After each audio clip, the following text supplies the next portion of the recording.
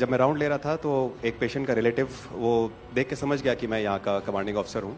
उसने जस्ट मेरे दोनों हाथ पकड़ के आँखों से लगाया और चूमा। तो आ, आ, मैंने मैं भी झुक गया। तो उसने कहा आप समझ सकते हैं ये इसका मतलब क्या है? मैंने कहा आप मुझे इज़्ज़त दे रहे तो कहते हैं नहीं आप मेरे पिता समान हैं।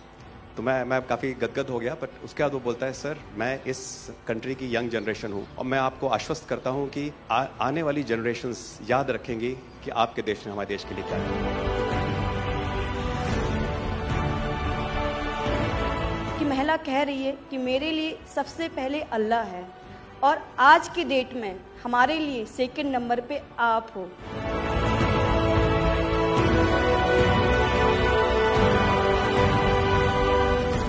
ये जो डॉग स्क्वाड था आपके साथ क्योंकि ये हमारे यहाँ इतनी ठंड नहीं है वहाँ उनको इतनी ठंड में जाना था। उन सब की हेल्थ कैसी रही? यहाँ से चाहे वहाँ पे भी हमारी डॉग की तबीयत बहुत अच्छा बिल्कुल अच्छा काम किया इन्होंने और अभी भी अच्छी है बढ़िया है सर। हमने सबसे पहले डॉग जूली को रबल्स की तरफ़ छोड़ा। तो जूली ने रबल्स की तरफ़ देखकर बार करके लाइव विक्टिम होने का इंडिकेशन दिया। उसके बाद में फिर हमने रोमियो को उसके कंफर्मेशन के लिए छोड़ा। और रोमियो ने फिर से पार करके उसको वहाँ लाइव विक्टिम होने का कंफर्मेशन दिया। हमने दो छोटी बच्चियों को रबल से 80 घंटे और 104 घंटे के बाद अर्थक्वेक के निकाला, उनको ज़िंदा। लोगों ने तालियाँ तो बहुत सुनी जब एयरपोर्ट से हम अपने जहाज़ की तरफ़ बढ़ रहे थे, पर किसी ने वहाँ जो लोग रो रहे थे करा करा के, वो शायद आई थिंक जो है लोगों ने कई लोगों को पता नहीं होगा कि कितने लोग रो रहे थे जब हिंदुस्तानी वो बोल रहे थे कि जब वहाँ से निकल रहे थे। तिरंगा लेकर हम जहाँ भी पहुँचते हैं वहाँ एक आश्वासन मिल जाता है अब भारत की टीमें आ चुकी हैं। इसलिए आज दुनिया भर में भारत के प्रति एक सद्भावना। बहत्तर घंटे से ज़्यादा वो मलबे में दबी हुई थी। पेशेंट जब आई थी, वो स्ट्रेचर में आई थी और जब वो हॉस्पिटल से गई है तो वो अपने पैरों में चल के गई थी। और जाते टाइम उसके आँखों में आँसू थे हमें धन्यवाद करते हुए। और उसने मतलब हमें भगवान के इक्वलेंट बोला और बोला कि जितना धन्यवाद मैं उनका करती हूँ, मैं उतना ही धन्यवाद आपका कर रही हूँ। भारतीय वायुसेना का ग्लोब मास्टर जब भी जहाँ उतरता है, लोगों में एक अलग सा उत्साह पैदा हो जाता है। उन्हें लगता है कि भारत उनकी मदद करने आ गया। जो छवि भारत की आज की डेट में दूसरे देशों में है कि कहीं भी कुछ भी होगा तो भारत जितनी हो सकेगा ज़रूर मदद करेगा और किसी और से ज़्यादा ही करेगा।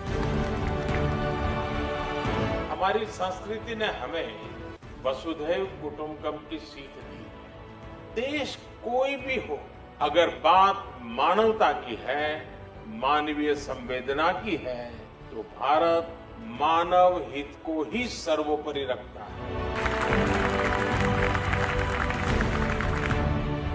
ये जो ऑपरेशन करने के लिए आए हुए अलग अलग टीमें थी उनकी कुछ ज़रूरत पड़ गई तो वे भी एक दूसरे को मदद करते थे कि क्या था? ऐसा कोई अनुभव है किसी का?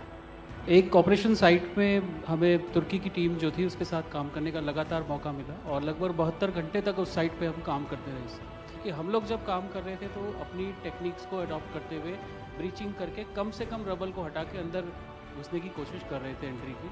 लेकिन जो लोकल आर्मी यूनिट्स उनकी थी, वो ज़्यादातर हैवी मशीनरी का इस्तेमाल करते हुए उस लोड को हटाना चाह रहे थे।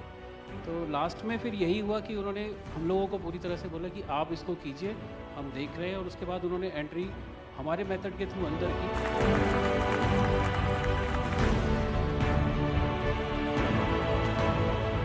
ऑपरेशन दोस्त मानवता के प्रति भारत के समर्पण। और संकट में फंसे देशों की मदद के लिए तत्काल खड़े होने के हमारे कमिटमेंट को भी दर्शाता है।